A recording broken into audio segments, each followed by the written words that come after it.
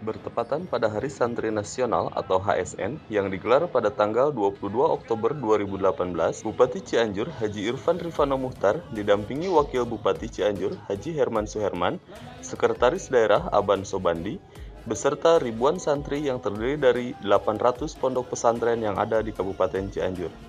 Bupati Cianjur dalam sambutannya meminta doa dan dukungan kepada santri dan para ulama untuk bisa menjalankan program keagamaan kepada masyarakat untuk memberantas penyakit masyarakat seperti LGBT, narkoba, miras, jinah, dan judi demi menuju Cianjur lebih maju dan agamis.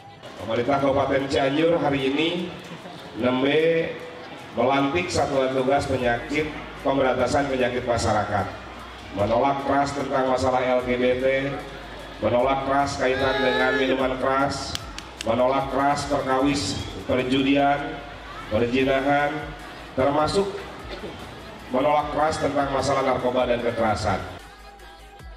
Deklarasi pun dibacakan langsung oleh Kiai Haji Solahuddin Al-Ayubi, Ketua Forum Pondok Pesantren Kabupaten Cianjur.